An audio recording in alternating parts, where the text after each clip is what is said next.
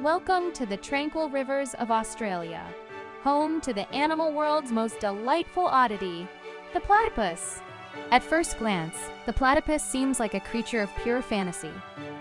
It has a duck's bill, a beaver's tail, and an otter's feet. But here's the twist the platypus is one of the few mammals that lay eggs.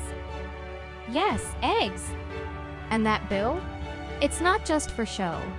It's a super sensor detecting electrical signals from prey hidden under riverbeds. Once the eggs hatch, the mother platypus nurses her young, but she has no nipples. Milk just oozes out of her skin. The platypus, a quirky symbol of nature's surprises.